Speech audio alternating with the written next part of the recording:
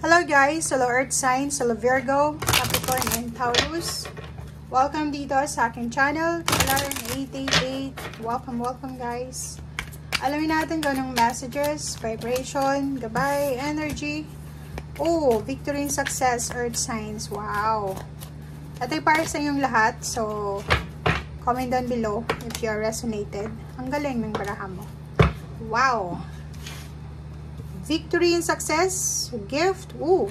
So, ang galing niya. Kasi, earth signs, sa, weeks, sa weekend na to, uh, posibleng makatanggap ka ng good news tungkol sa iyong health. So, if ever man may mga masakit sa katawan mo, or may kapamilya kang may sakit, or kano pa man, isang, uh, kung ano man itong inaalala mo, ba diba?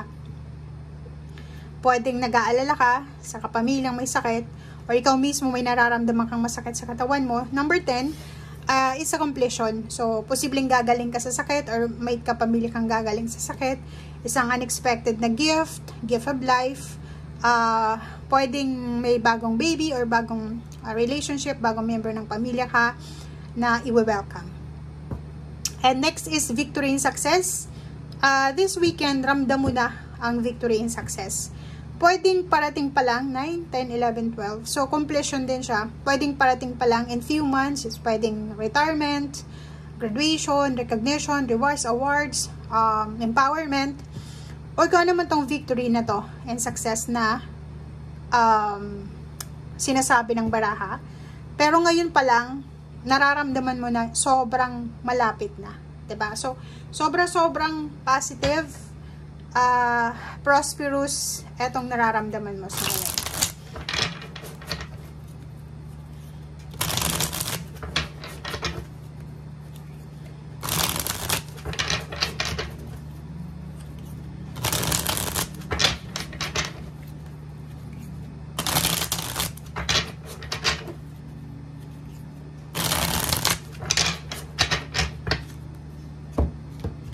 Okay, earth signs. King of Wands, and Magician. Wow!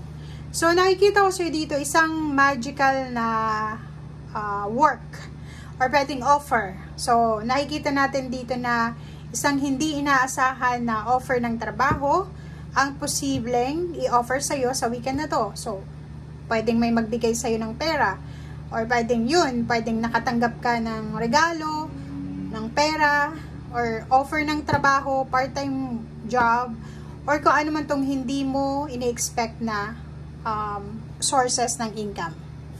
Next is to absorb. So, wag kang, mag, mag, wag kang uh, mag-alinlangan dito. So, if ever makatanggap ka ng offer na uh, tutulungan ka financially, emotionally, or pwedeng trabaho itong bibigay sa'yo, go. Okay? Impress, uh, nakikita natin dito, earth signs na maraming magsisimula sa buhay mo. If you're a woman, may asawa ka, pwedeng yun na nga, may unexpected baby na parating, or pwedeng may nakikita tayong good health, good health, unexpected baby, unexpected income, uh, mga ideas, new ideas, inspiration na pwedeng magbigay sa iyo ng prosperity and abundance. Okay? Oh, 'di ba? Uh, nakikita natin dito guys na you're on the way na papunta doon sa The Impress, sa New Beginnings. Uh, punong-puno ng pag-asa etong puso mo sa araw na ito, sa weekend na to, two days siya. Punong-puno ka ng pag-asa kasi feeling mo uh, papunta ka na, malapit ka na sa fulfillment, malapit ka na sa empowerment, malapit mo nang maabot yung pangarap mo. Parang ganun yung nakikita natin dito. Okay, Five of Cups uh, nakikita ko sir dito na may iba sa inyo na nangihinayang siguro kayo sa relationship na nawala sa inyo or nangihinayang kayo sa perang nawala sa inyo or sa trabaho or sa business or sa kung ano man tong nawala sa inyo. But, ang sinasabi sa'yo dito ng uh, King of Pentacles, be strong, ba? Diba? Be strong, be courageous, hindi ka dapat nangihinayang. Okay? Atong uh, 8 of Swords tsaka 5 of Cups, ito siya. May iba sa inyo earth signs na nangihinayang sa mga efforts na ginawa nyo but sinasabi nga ng baraha, move on. Okay? Ten of Swords sa relationship, emotional burden, emotional stress, tribulation, trials, or kaanuman to na pinagdaanan mo for the past few months ay posibleng ma-overcome mo siya. So, may mga solution tayo dito. So, yun. Ang nakikita ko sa'yo dito, ang focus mo sa weekend na to is yung makaalis ka sa problema. Una-una, problema pamilya, problema sa health, problema sa relationship, problema sa magulang, sa family, problema sa pera, or kung ano man to na uh, hindi magandang nangyari for the past few months or years. Nine of Wands, uh, if ever na pagod ka emotionally or financially, pwede ka naman magpahinga sa weekend na to. Especially emotional. If ever feeling mo na medyo burden na, medyo toxic na, abandon na the situation. Eight of Cups. Abandon the situation. Okay? So, ano lang, parang sinasabi ng baraha sa'yo na, simplify your life, earth signs. If ever na alam mong nakakapagod na, toxic na, nakaka-stress na, nakakasakal na, nakakainis na, Eight of Cups ang solusyon dyan. Okay? Mm.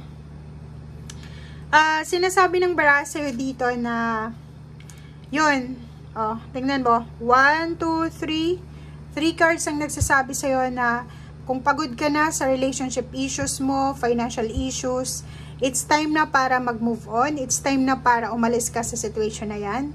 It's time na para i-focus mo naman ang iyong puso, ang iyong kaligayahan. Diba? So, three of wands, ano ba bang hinihintay mo? Diba? Ano bang hinihintay mo para mag-move on? Ano bang hinihintay mo para makaalis ka dyan sa situation na yan? Okay? So, yun. Yun guys ang nakikita natin. And, King of Cups, sinasabi na kailangan mo daw i-prioritize yung iyong emotional, ba? Kasi pag hindi mo um, binigyan ng pansin yung uh, nararamdaman mo, ang tendency niyan is may immune ka, 'di ba? Hindi mo na alam kung nasasaktan ka or hindi mo na alam kung uh, paano i-express yung emotion like masaya, malungkot or kano pa man. So kailangan mo nang magdesisyon, okay? choices, marami kang choices na pwedeng pagpilian. Huwag mong ilagay ang sarili mo sa, sa isang sitwasyon na, ah, wala akong choice, wala akong decision, or kano pa man. Okay? So, yun ang sinasabi ng baraha.